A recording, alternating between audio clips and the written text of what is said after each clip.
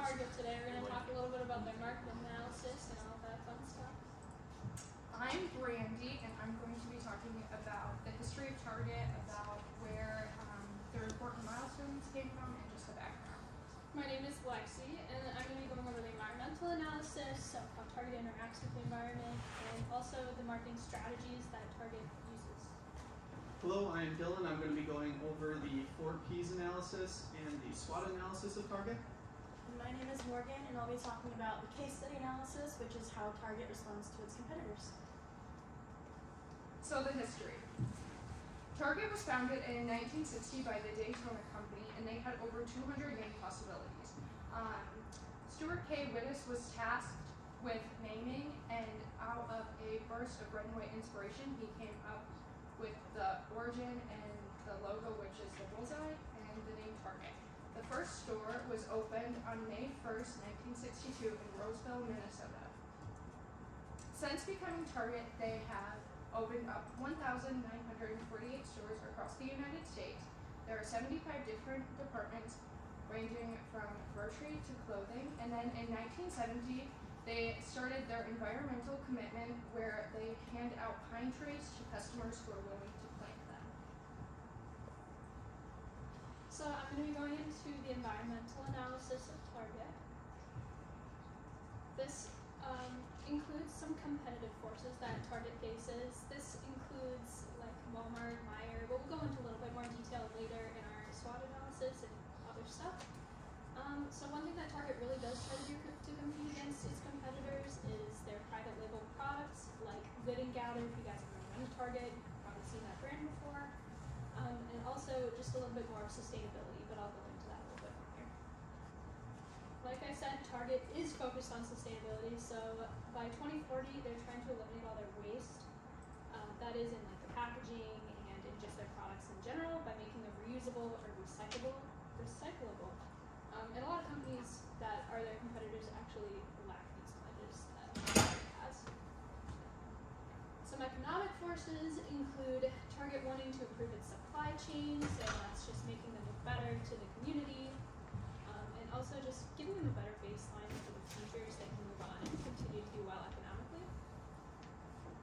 Finally, for their social cultural forces, this is really just kind of how like people view Target. Um, this is the CEO. He said basically that the business having a good planetary health mindset is going to be good for expanding on the business in the future. So people with eco-friendly attitudes are probably to want shopping Target for this reason. Next, I'm going to do the marketing strategy for Target.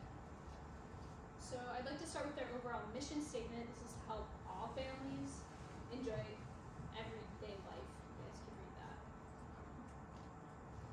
From there, we can go into their market segmentation and their target market. I thought that's kind of funny because I call Target. Um, so I split up into four different segments, I guess. First of all, there's the demographics. Typically, Target shoppers are going to be white, middle class mothers, and they're typically people aged range from 18 to 44. It's kind of where you get the Target mom stereotype that you've heard of before. Targets are typically located in suburban to urban areas. That's probably why we only have one up in the UP here, because Marquette is just the biggest area of the UP. Psychographics, so Target, typically their customers have a family value and their income is from their customers also focus on using technology, so they're usually not people who can't handle using smart, smartphone. Um, and they have higher budgets, so they can spend a little bit more money on their groceries. So in the workplace, diversity is really important. So not only within their customers, but also just actually working at Target, it's really important to include diversity. Um, and diversity really does create a sustainable business. As you can see here, 69% of employees at Target actually enjoy what they're doing because Target does a good job with this, as compared to 57% for its competitors. So next, I just have these quick little videos just to show like how Target is done in the market, specifically with their commercials and advertising in the last 30 plus years.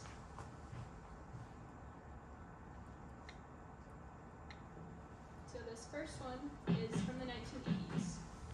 And as you can see, they kind of go with the trends.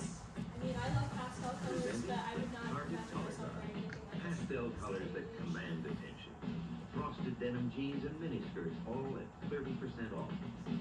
A rainbow selection of sweaters is also 30% off.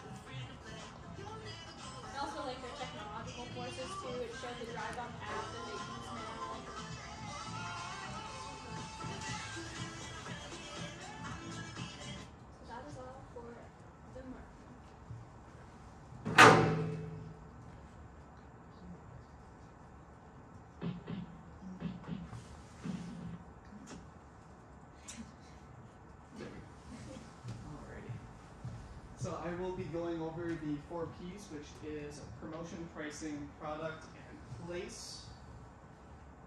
For promotion, uh, Target is able to spread out its awareness using different uh, forms of media, media including newspapers, flyers, coupons, and billboards. Um, these are normally geared towards the older generation, the individuals that aren't able to um, effectively use uh, smartphones or different forms of technology. Uh, social media is also a driving force for Target with their use of Twitter, Facebook, TikTok, and Instagram to reach the younger demographic, and the use of their Target app for online shopping, deals, and in-store pickups. Uh, their price, so Target promotes deals and coupons to customers. Um, as you can see here in their sales tag, the use of large lettering and um, exclamation points to offer deals to customers, um, easy to read and focuses on um, accessibility. Their use of uh, creating a credit card system and reward system for consumers to purchase items and use them, use those points towards um, different purchases in the upcoming future. Uh, their products, so diversity of products. Uh, targets Target focuses on the ability to make it a one-stop shop um, by offering a different range of products um, to attempt to take over the market share, a range in different sizes for inclusion of all individuals, uh, online brands versus in stores. So Target offers exclusive online brands versus in store. Um, so keeping an eye on those different deals by using their different platforms. And then other services they provide are optical centers, CVS Pharmacy, and Starbucks in different locations. Place. So Tar- Target does offer different size stores for different um, areas. So the Express store is around 5,000 square feet. The city store is between 10,000 and 25. The Target we have here in Marquette is 125,000, which would be considered a regular size. And a super Target is any Target over 200,000 square feet. So targets are located in urban and dense populations, um, and they have a large variety of layouts, including different departments such as clothing, electrical, home goods, pharmacy, food. The distribution centers are in different, 13 different states, and they have 51 of them spread out throughout the U.S. So the SWOT analysis covers the strengths, weaknesses, opportunities, and threats that Target faces. Strengths include their brand image. Um, their brand image is in partner with their partnerships and charity donations, which creates a good image of the company. And with their partnerships with CVS and Starbucks, it creates a good customer to store relationship. The charity donations, um, Target is proud of their 5% charity donations to local communities. Their store environment is not only uh, welcoming but accessible for all individuals. And their Red Card loyalty program um, allows consumers to purchase and put, put those points towards future um, orders.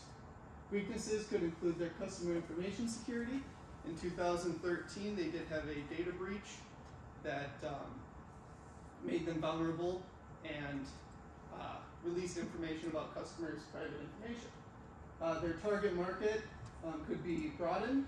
Their market share, so the competitors such as Amazon or Walmart. So making sure that they're still competitive in their profit markets. Opportunities, uh, making new locations in different areas. Um, although the UP isn't a dense urban area, um, we're close to a college campus, which um, was a good market for Target. Uh, their target market, obviously, an opportunity to broaden their horizons. Product delivery, making sure that they're competitive shipping. Worldwide expansion, since Target is only in the US right now. Threats, uh, market competitors, the location of their stores, changing the inventory for uh, new trends, the world's economy, and cost of production. Alright, next I'm going to talk about the case study analysis, which is basically just comparing um, Target to one of its larger uh, competitors. Um, so we're going to talk today about different aspects of Target and Walmart um, and how they're similar and how they're different. First up, I'm going to talk about some similarities. Um, first off, they have very similar similar marketing strategies. They both take advantage of paper flyers, um, especially social media in today's day and age. They both offer great deals and coupons for in-store. Um, and they also both have a very vast variety of products. You can go into either store and get a gallon of milk and a pair of pants in the same trip. Um, while one does offer more brands, one follows more closely um, with its brands that it has, it follow, uh, carries exclusively. Um, as for differences, the shopping experience as a whole varies from each store. Um, Target focuses more on the comfort have wider aisles, so it's comfortable to move around, whereas Walmart has smaller aisles and just um, carries as many products as they can in one single space. Another difference is the locations. Um, Target right now is exclusively in the United States with only, as Brandy said earlier, 1,948 locations, whereas Walmart has um, 11,384 locations globally, with 4,648 in the US alone. Um, there are currently Walmarts in 27 different countries, and the only country, or the only continent without a Walmart right now is Antarctica. Um, clearly, due to the different size of the different uh, amount of locations, there is a difference in the revenue they take in. Walmart clearly um, does more in revenue with 573 billion in 2022, while Target had 106 billion in 2022. So overall, that was our presentation. We covered a little bit about marketing analysis, the environmental analysis, SWOT analysis, history, and 14 and all that fun